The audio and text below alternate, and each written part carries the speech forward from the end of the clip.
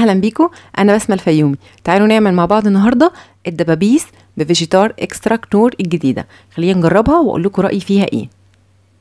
أول حاجة هنجيب الدبابيس بتاعتنا وبالسكينة وهنفتح هنعمل فتحتين في كل آه، دبوس لحد ما يوصل للعظم. ده مهم جدا عشان الدبابيس بتاعتي تستوي.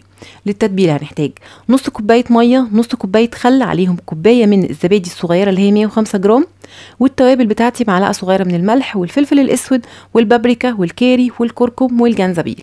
هنقلب كل الحاجات دي مع بعض كويس جدا وهنرفع التتبيلة دي على النار لحد ما تغلي. وبعدين هننزل بيها بالفراخ بتاعتنا. أول ما غليت طفينا النار وحطينا الفراخ وقلبناها كويس جدا جدا.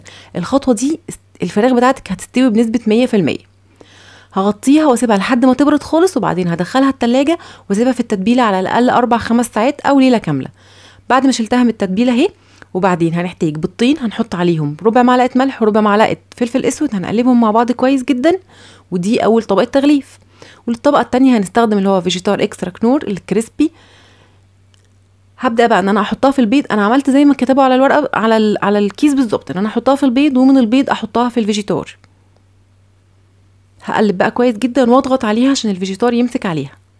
بس ده كان منظرها بالظبط. بس الصراحة أنا ما اقتنعتش. أنا شايفة إن أنا لو حطيت دقيق هيبقى شكلها أحسن من كده بكتير. فتعالوا نجرب الدقيق. هجيب دقيق عليه رشة من الملح وهاخد بقى الفراخ بتاعتي. أحطها في الدقيق واغلفها كويس جدا جدا بالدقيق وبعدين انفض أي دقيق زيادة فيها. وانزل بيها في البيض وبرضو أغلفها كويس بالبيض. بعدين بعد ما تتغلف كويس في البيض أشيلها وأحطها في الفيجيتار الخلطة بتاعت Vegetar كانت حلوة جدا مش محتاجة بس أكتر من رشة من الملح. يعني هي متبلة توابلها حلوة جدا اديتها بس رشة صغيرة من الملح.